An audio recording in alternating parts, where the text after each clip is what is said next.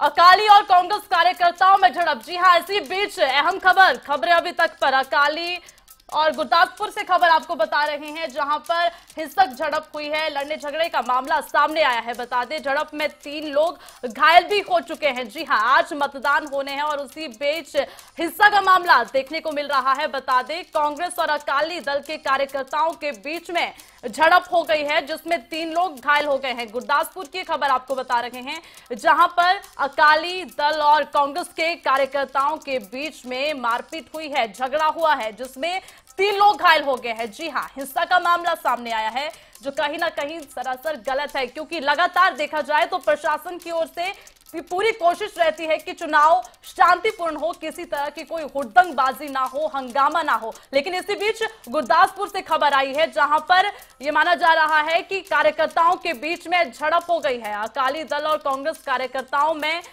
झगड़ा हुआ है, मारपीट हुई है, जिसमें तीन लोग गंभीर रूप से घायल हो गए हैं। गुरदासपुर से खबर आपको बता रहे हैं, जहाँ पर हिंसा का मामला सामने आया है। देखा जाए तो लगातार इस तरह की खबरें अक्सर सुनने को मिलती है, क्योंकि पिछली बार भी जब चुनाव हुए थे तो पश्चिम बंगाल में भी हिंसा देखने को मिली थी। तो इस बार हिंसा को लेकर गुरदासपुर से मामला सामने आया है, जहाँ पर अकाली दल और कांग्रेस के कार्यकर्ताओं के बीच में झड़प हो गई है। हालाँकि मारपीट के बीच तीन लोग भी घायल होने की खबर सामने आई है। लगातार खबर अभी तक आपको अपडेट दे रहा है पल पल की खबर आप तक पहुंचाई जा रही है। गुरदासपुर से खबर, जहाँ पर कांग्रेस और अकाली दल के कार्यकर्ताओं के बीच में झगड़ा हो गया है और गुरदासपुर में ये झड़प हुई है, आपको बता दें, जिसमें तीन लोगों को चोटें आई है, तीन लोग घायल हो गए हैं।